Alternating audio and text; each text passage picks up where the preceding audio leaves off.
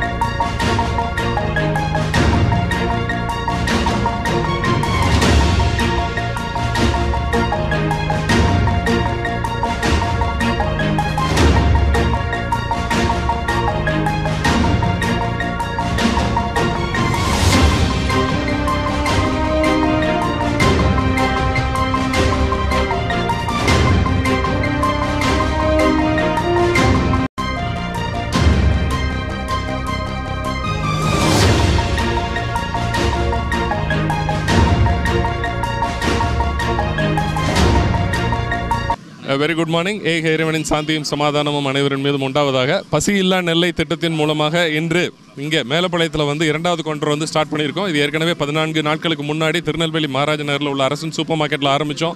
இன்னைக்கு தேதி வரைக்கும் கிட்டத்தட்ட முந்நூறு பேர் வந்து இதன் மூலயமா வந்து பயனடைஞ்சிருக்கிறாங்க. இன்றைக்கி இங்கே வெல்கம் டிராவல்ஸினுடைய வாசலில் வந்து ரெண்டாவது கவுண்டரை வந்து ஸ்டார்ட் பண்ணியிருக்கிறோம். பசியில்லா நெல்லை வந்து.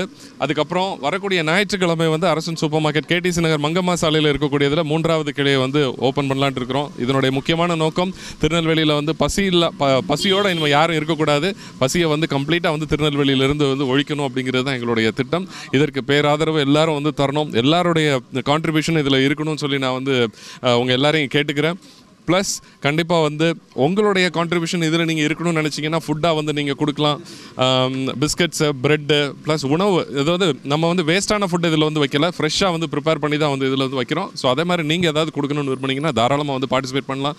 உங்களோட கடைகள்லையோ உங்களோட நிறுவனங்கள்லையோ இதே மாதிரி ஏதாவது கவுண்டர் வைக்கணும்னாலும் சொல்லுங்கள் அதற்கு என்னென்ன வழிகளோ என்னென்ன ஹெல்ப் பண்ணுமோ நாங்கள் வந்து கண்டிப்பாக வந்து பண்ணுறோம் ஸோ பசியில்லா நிலையை அனைவரும் சேர்ந்து உருவாக்குவோம். நன்றி.